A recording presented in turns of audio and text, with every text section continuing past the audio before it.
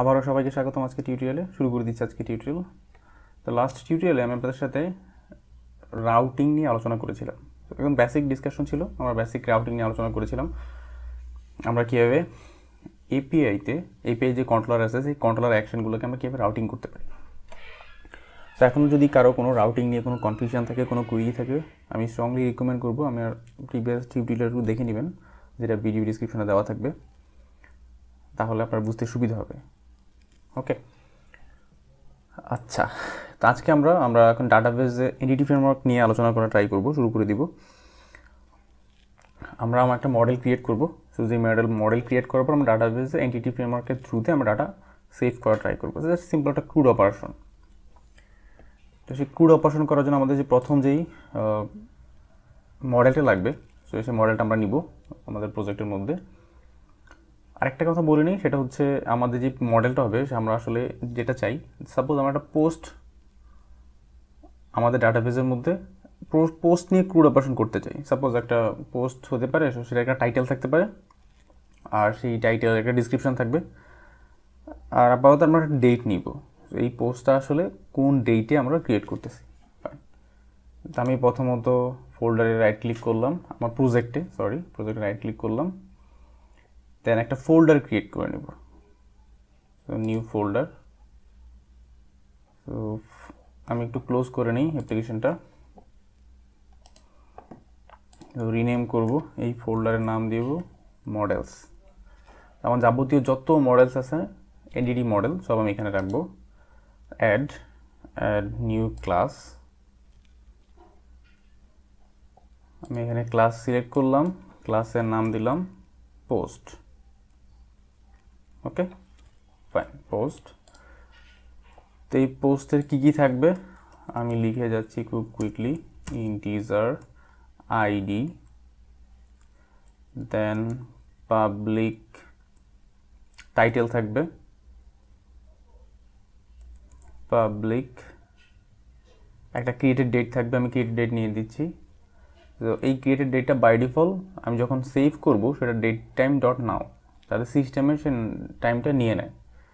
আর যদি আপনি এটা না দেন, তাহলে যেটা করতে হবে, আপনি ইনিশিয়ালাইজ করে দিতে হবে date time dot now okay fine then আমি ডিসক্রিপশান নিয়ে নিই।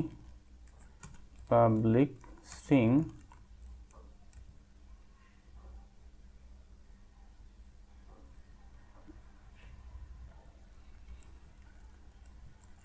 description get set.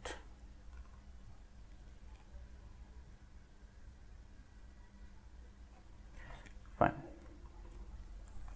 এই জাস্ট আমার সিম্পল যে মডেল আমি মডেলটা নিয়ে নিলাম। তো এই মডেল আমি আমি চাই এই টাইটেলটা রিকোয়ার্ড হোক। তো আমি জাস্ট সিম্পলি থার্ড ব্যাকেট দিব, এই, আমি এখানে অ্যানোটেশন অ্যাড করে দিব।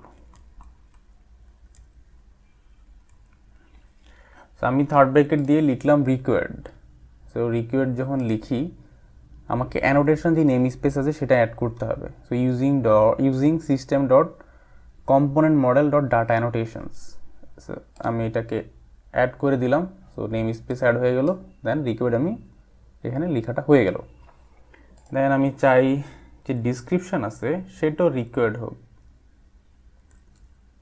সো আমি এখানেও রিকোয়ার্ড লিখে দিলাম।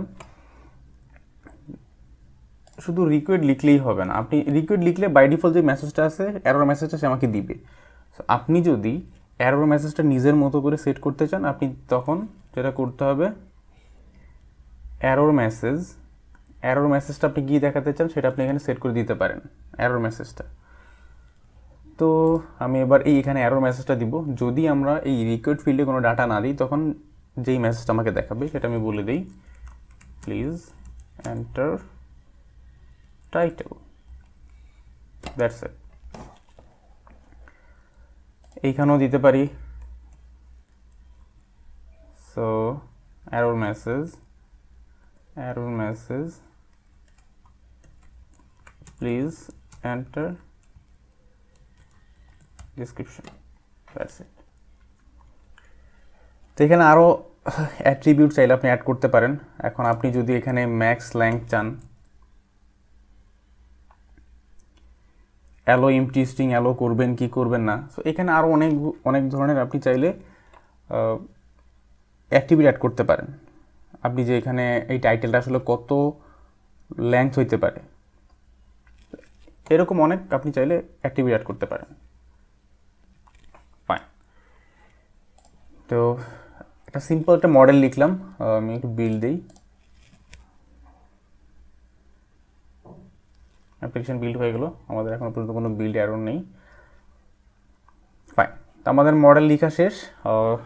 লিখলাম মডেল তো আমরা পরবর্তীতে যেটা করব আমরা ডিবি কনটেক্সট অ্যাড করব।